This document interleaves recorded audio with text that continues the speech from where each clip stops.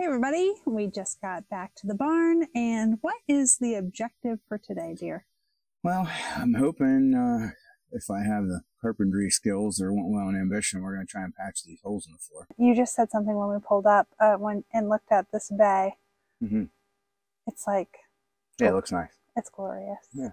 You know, it's like that. Uh, it's like that scene in Days of Thunder when he pulls in the pit road after the race is over. Well, how about that? A sound we don't have to fix. And Harry walks over and kicks a dent in it and says, "I don't want you to be spoiled." I don't want you spoiled, Buck. Yeah, I feel like we shouldn't have this bay. Like, it does feel a little yeah, spoiled. Yeah. Yeah. Yeah. My name is Krista, and that is my husband, Kevin. We just embarked on restoring a 150 year old farmstead in Pennsylvania that was in my husband's family for three generations. We're starting our restoration with the barn that was basically falling down when we started. We still have a long way to go, but as we stumble through this restoration, we are sharing this journey and learning together as we work to restore our future home at Sawmill Ridge Heritage Farm. So we're going to dive in on this biggest hole in the floor here in this bay above the pig pen by cutting away the bad spots and replacing it using recycled materials that we found right here in our barn. Here's a seam. There's a seam. Here's a row of nails. I hope it's a big beam. I'm going for it.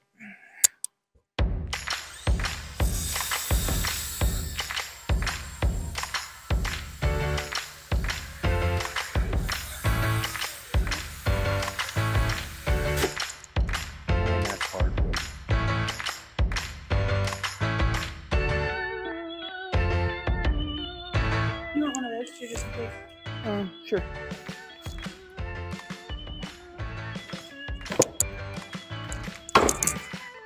Okay, so this is pretty cool. Just as we suspected, this bay is double lined. So there's actually two layers of flooring here.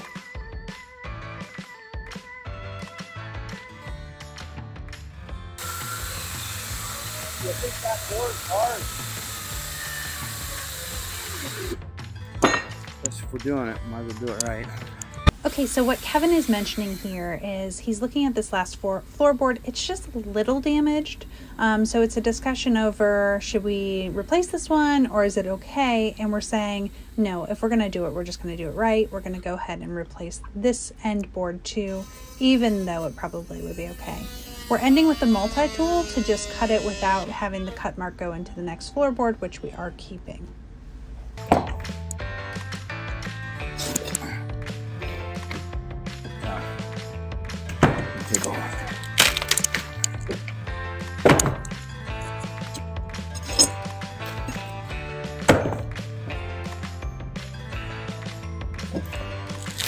Noticed too. This one, this one, it stops right there. So, depending on what widths we can find when we get to putting the second layer down, whether or not I'll pull this little piece out. I don't want to just do it now and then find out that, well, we had these boards that fit here and here, and but we just have to wait and see.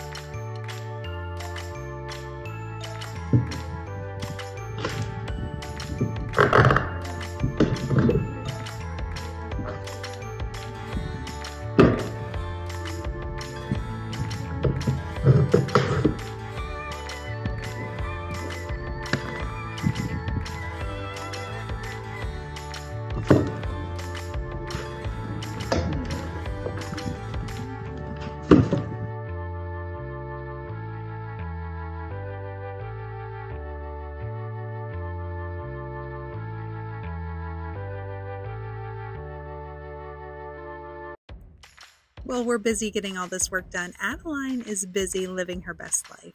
We hung a hammock for her today, and she is really enjoying Family Day at the barn today. Talk about a different perspective. The pig pen sure looks different when you're looking down on it from above.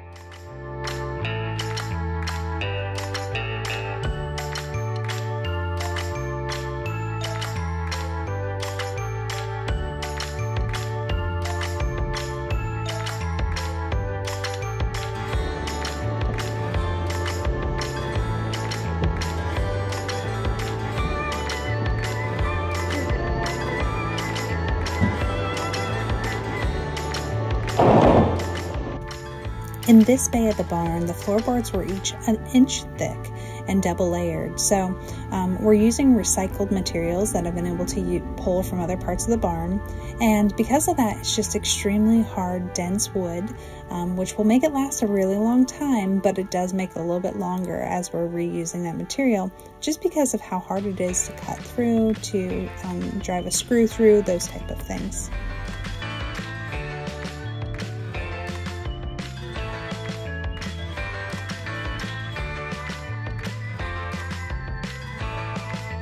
One of our struggles is that the barn currently does not have electricity, so it does get dark pretty quickly. We were still able to lay down these last few floorboards, although it was pretty dark at the time.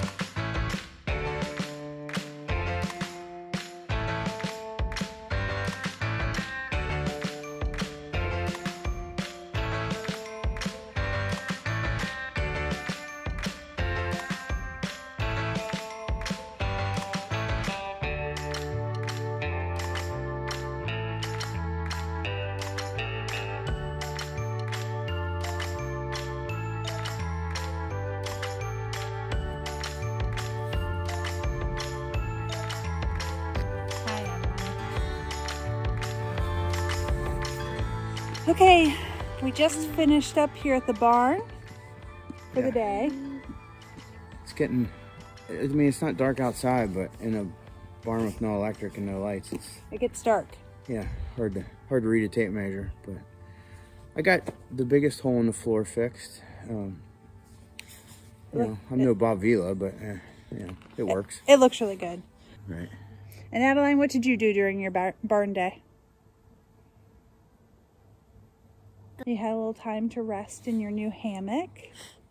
That was cool. Did you have fun at the barn? Yeah, cool.